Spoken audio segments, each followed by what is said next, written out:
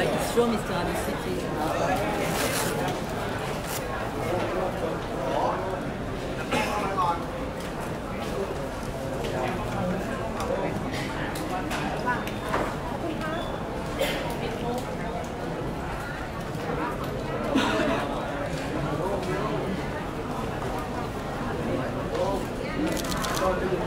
รอดูอะไรอย่างเงี้ยเหรอครับ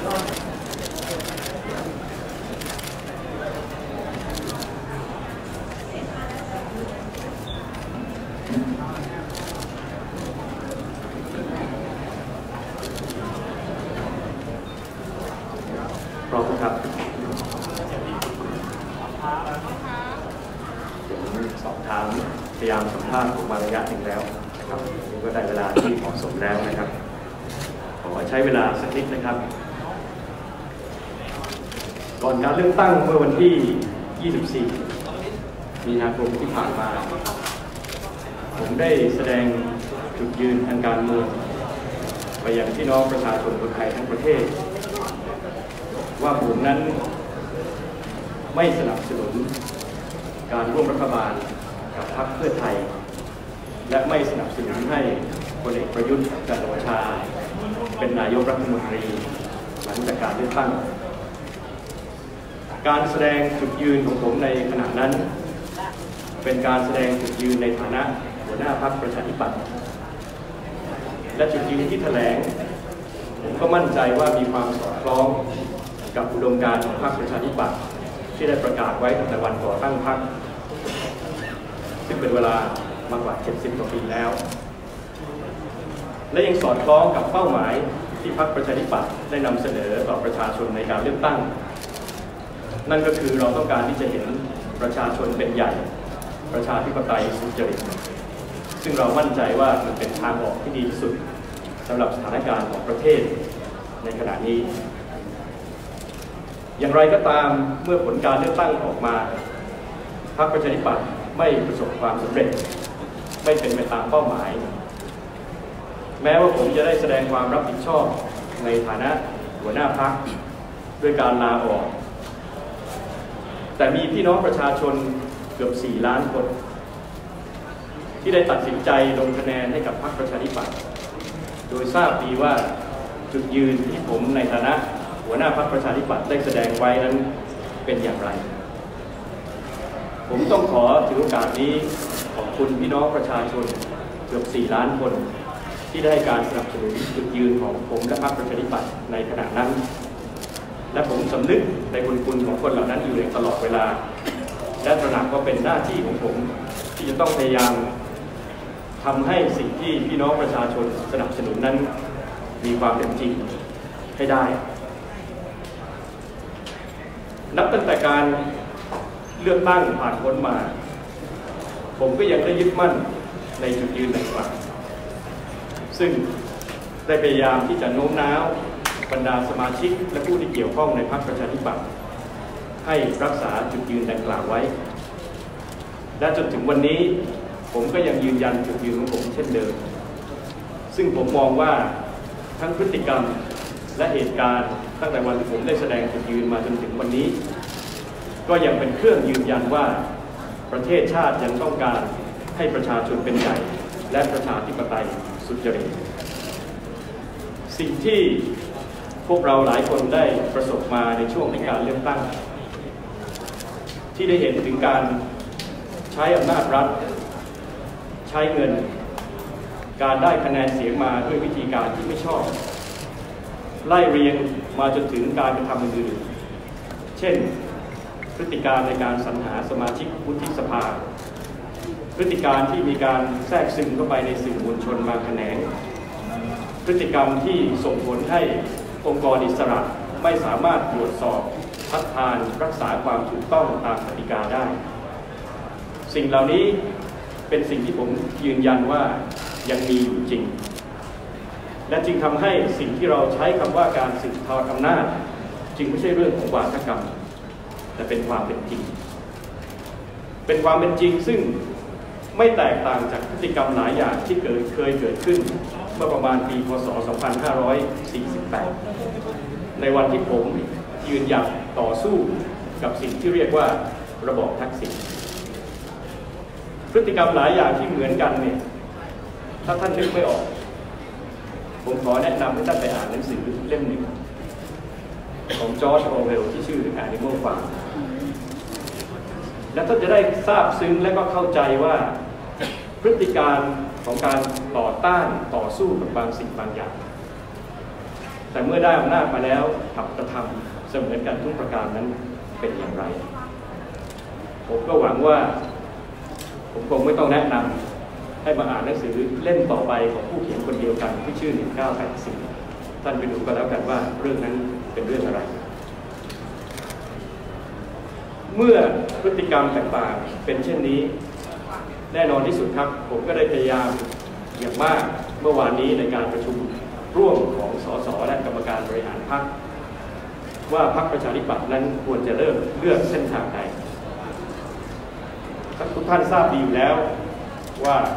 ปัจนี้ประชาธิปัตย์ได้มีมติในการที่จะสนับสนุนพลเอกประยุทธ์จันโอชาเป็นนายกรัฐมนตรี และจะเข้าไป ร่วมรัฐบาล ด้วยความเคารพในมติของเสียงข้างมาก ผมก็ต้องยืนยันว่า ผมไม่เห็นด้วยกับมติดังกล่าว แต่ได้บอกกับที่ประชุมไปแล้วว่าเมื่อพักมีมติเช่นใด สมาชิกพักก็ควรที่จะปฏิบัติ เช่นนั้นไม่มีการไปฝ่าฝืนมติพักที่ผมไม่เห็นด้วย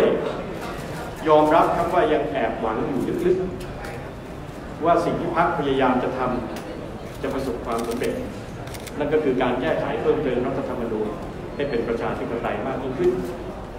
รวมไปถึงความตั้งใจของเพื่อนๆในพักที่อยากจะไปทำงาน แก้ไขปัญหาเศรษฐกิจ และปากท้องให้กับประชาชน แอบหวังลึกๆ ว่าคนที่พักประชาธิปัตย์จะไปพายเรือให้ จะกลับใจ สร้างประชาธิปไตย และสร้างธรรมาธิบัติแต่ที่ผมยังยืนยันจุดยืนเดิมนั้นเพราะผมเสียดายโอกาส โอกาสที่พรรคประชาธิปัตย์แม้จะกลายเป็นพรรคขนาดกลางสามารถที่จะสร้างพื้นที่ทางการเมืองที่จะเป็นประโยชน์กับประชาชนและประเทศชาติในระยะยาวด้วยการทำหน้าที่เป็นฝ่ายที่สามที่เป็นกลาง พร้อมที่จะตรวจสอบรัฐบาล ซึ่งก็เป็นที่คาดหมายกันว่าก็คงจะเป็นการตั้งรัฐบาลโดยการนำของพลเอกประยุทธ์จันทร์โอชานั่นเอง อะไรที่ดีพรรคก็สามารถสนับสนุนได้ อะไรที่ไม่ดีพรรคก็ควรที่จะตรวจสอบและมีความอิสระในการที่จะแสดงออกถึงความไม่เห็นด้วย เป็นการถ่วงดุลการที่จะใช้อำนาจเกินขอบเขต และทำให้เห็นคุณค่าของฝ่ายนิติบัญญัติ พร้อมๆกันไปการสร้างพื้นที่ตรงนี้ที่ผมเสียดายโอกาส ก็คือการมีพื้นที่ที่จะเริ่มต้นจากพื้นที่เล็กๆ แต่เติบโตต่อไปให้เป็นทางสายหลักของประชาธิปไตยไทยไม่ปล่อยให้ฝ่ายหนึ่งฝ่ายใดมาแอบอ้างคำว่าประชาธิปไตยบังหน้า หรือเป็นเสื้อคลุมแต่ไม่มีพฤติการที่มีความเป็นประชาธิปไตยที่แท้จริง ผมเสียดายโอกาสที่ เราไม่สามารถจะสร้างพื้นที่ที่จะทำให้การเมืองไทยหลุดพ้นจากการถูกบีบบังคับ ให้เลือกข้างด้วยอารมณ์ ด้วยความเกลียดเผด็จการ หรือด้วยการกลัวทักษิณผมจึงต้องเรียนกับทุกๆทท่านครับว่า ความพยายามของผมนั้นเมื่อไม่ประสบความสำเร็จแล้ว ผมก็ต้องมีการตัดสินใจว่าสิ่งที่ผมสมควรจะดำเนินการต่อไปคืออะไร ประการแรกสิ่งที่ผมต้องทำคือกล่าวขอโทษพี่น้องประชาชนทุกคน ที่ตัดสินใจเลือกพรรคประชาธิปัตย์ในครั้งที่ผ่านมา โดยเข้าใจว่าพรรคจะรักษาจุดยืนคำพูดและอุดมการของผมที่พูดไปในฐานะหัวหน้าพรรคประการที่สองในการทำหน้าที่ที่ผมจะต้องทำในฐานะสมาชิกสภาผู้แทนราษฎรวันนี้ เมื่อมีการประชุมรัฐสภาก็คือวาระของการเลือกตั้งนายกรัฐมนตรีผมคงไม่สามารถเดินเข้าไปในห้องประชุม และลงคะแนนที่เป็นการฝ่าฝืนมติของพรรคได้ ผมเป็นนักการเมืองซึ่งสนับสนุนระบบพรรคการเมืองได้รับโอกาสจากพรรคประชาธิปัตย์เป็นหัวหน้าพักยาวนานกว่า 10 ปี ผมทราบดีว่านักการเมืองที่ดี สมาชิกที่ดี ต้องมีวินัยจะให้ผมเดินเข้าไป แล้วออกเสียงว่าผมสนับสนุนพลเอกประยุทธ์จันทร์โอชา ผมก็ทำไม่ได้ เพราะยิ่งใหญ่กว่ามติพักเสียอีกคือสัญญาประชาคมที่ผมให้ไว้กับพี่น้องประชาชนทั้งประเทศ ผมขอบคุณเพื่อนสมาชิกพรรคประชาธิปัตย์เมื่อวานนี้ ที่พยายามเสนอทางออกให้แก่ผม ใช้คำว่าอยากจะช่วยรักษาเกียรติภูมิให้กับผม ด้วยการเสนอให้ผมนั้นงดออกเสียงผมได้ตอบไปในที่ประชุมครับว่าพรรคคงไม่มีหน้าที่ที่จะมารักษาเกียรติภูมิให้กับคนหนึ่งคนใดพรรคมีหน้าที่รักษาเกียรติภูมิของพรรคส่วนการรักษาเกียรติภูมิของผมเป็นหน้าที่ของผม ผมจึงปฏิเสธ แนวทางที่จะให้ผมเป็นข้อยกเว้น และก็งดออกเสียงในที่ประชุมในวันนี้ แต่ผมทราบดีครับว่าปัญหาทั้งหมด มันไม่จบในวันนี้หรอกครับ ทุกสัปดาห์ผมก็ต้องมาเผชิญกับปัญหานี้อยู่ตลอดเวลา เหมือนกับเมื่อสัปดาห์ที่แล้ว ผมต้องยอมรับว่าใน 27 ปีของการเป็นสมาชิกสภาผู้แทนราษฎรของผมไม่เคยอึดอัดเท่ากับการลุกขึ้น ลงมติเพื่อให้เลื่อนการเลื่อนประธานสภาทั้งนั้นที่ไม่มีเหตุผลที่จะตอบต่อสังคม ซึ่งผมขอถือโอกาสนี้ขอโทษ กับพี่น้องประชาชน แต่ผมทำไปเพราะว่าผมไม่ต้องการฝืนมติพักและลดน้ำหนักในการที่ผมจะไปต่อสู้ภายในพักเพื่อที่จะให้เดินไปในทิศทางที่ถูกต้องในเรื่องที่ใหญ่กว่า ดังนั้นเมื่อมาถึงวันนี้แล้ว ผมก็เหลือทางเดียว ที่จะรักษาเกียรติภูมิไม่ใช่เฉพาะผมแต่เกียรติภูมิของตำแหน่งหัวหน้าพักประชาธิปัตย์ พักที่มีคำขวัญว่าสัจจังเวอมตะวาจา ที่จะต้องรักษาคำพูด และรับผิดชอบต่อคำพูดที่กล่าวไว้กับพี่น้องประชาชน เพราะการทำงานทางการเมืองของผมนั้น ผมยึดถืออุดมการณ์และหลักการเป็นที่ตั้ง ไม่ใช่เป็นเรื่องของความเลื่อนลอย แต่เพราะผมเชื่อว่าการเมืองที่มีอุดมการณ์และหลักการเท่านั้น ถึงจะสามารถสร้าง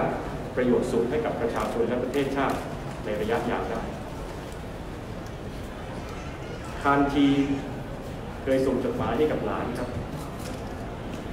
พูดถึงบาปเจ็ดประการของสังคม หนึ่งในนั้นคือการเมืองที่ปราศจากหลักการ ผมไม่สามารถทำบาปนั้นได้ ผมจึงจำเป็นที่จะต้องตัดสินใจ ลาออกจากสมาชิกสภาผู้แทนราษฎรตั้งแต่วันนี้เป็นต้นไปครับ ขอบคุณครับแล้วจะรับผิดชอบยังไงกับพักต่อไปครับนะคะ